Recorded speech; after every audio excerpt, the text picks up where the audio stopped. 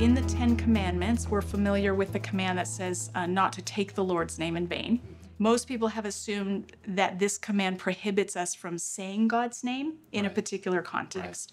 So either saying it word, as a curse word or using it to confirm an oath that we don't intend to keep or that we go on and break. Mm-hmm. Um, that's not, I don't think that's what's going on in this command. I think it, the command fits into this wider picture of what's happening at Mount Sinai, where God has brought his people out of slavery in Egypt. Mm-hmm. They've been serving Pharaoh, and now they're going to serve Yahweh instead. Mm-hmm.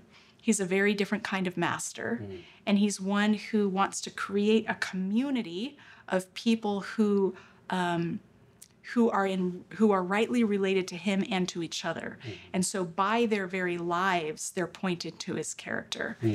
And he expresses this by calling them a kingdom of priests and a holy nation. Mm-hmm. And then if you fast forward from chapter 19 where he calls them a kingdom of priests to chapter 28 where he's describing what the high priest will wear, Right. we find that the high priest has a pouch on his chest with 12 gemstones on it, hmm. one gemstone to represent each of the 12 tribes of hmm. Israel.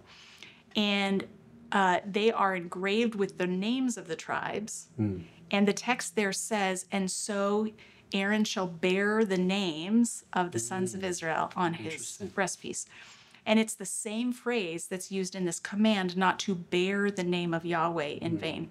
So if you have a people who've just been told you are a kingdom of priests, Yep. and then you have a priest who bears names, these I think are the interpretive clues to help us read this command, Yes. not to bear God's name in vain. And if you look again at Aaron, the high priest, he also has a name on his forehead.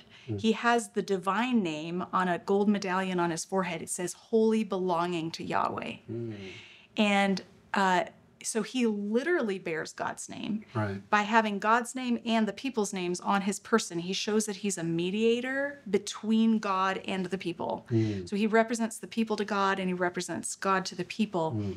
And he is like a visual model of what's true of every Israelite Wow. Yeah. because they are a kingdom of priests. Mhm. And so, although you can't see the name written on them, it's like they all have an invisible tattoo. Yep. And in some denominations, I can't say that, right? But I, I feel like No, in we're- Vineyard, we're it's good. probably okay. Yeah, we're good. All right, so then I can show you my tattoo as well. Oh, yeah. Because I decided to make the the uh, invisible tattoo visible. Right. So my tattoo says belonging to Yahweh. Mm. And it's a, a way of acknowledging I am not my own, Hmm. but I belong, body and soul, to the God who made me. That's so cool. So when you take that idea of Exodus 19, then you say 28 gives us a context for that.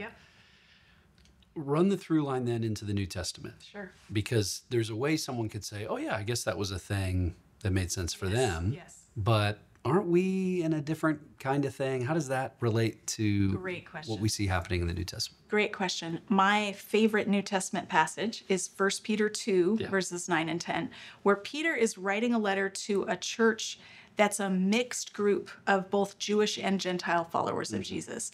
And they're scattered throughout what, what we now know, know as Turkey. They're scattered throughout Asia Minor. And he calls them a kingdom of priests or a royal priesthood and a mm-hmm. holy nation mm-hmm. and God's treasured possession. He uses the same titles that were used in Exodus 19 to refer exclusively to the covenant mm-hmm. community, and he applies those to followers of Jesus, Jewish and Gentile, which is shocking because up until this point, it's only Jews who are part of the covenant. Right.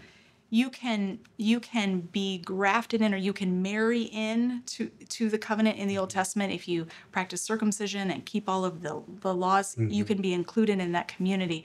But there hasn't been a wholesale embrace of gentiles and here gentiles who are living as gentiles mm. are considered part of the covenant people they have these same titles Yeah. so I take that as a signal that we bear God's name mm-hmm. as Gentile followers of mm-hmm. Jesus, um, just just like the Jews did in the mm. Old Testament. That's cool. Okay, so then when you take those two frames, just try to draw the through line to now.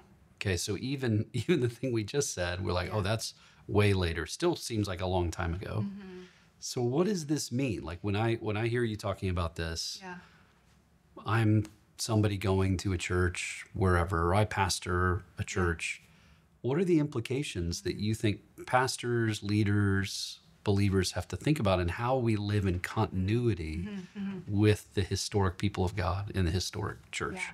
Notice Peter when he's writing to the early church, he's not starting something brand new. Right. He's not being like, "Hey, let's do this thing." Yeah. He is his concern is to show believers in Jesus that they are part of something that goes way back. Mm-hmm.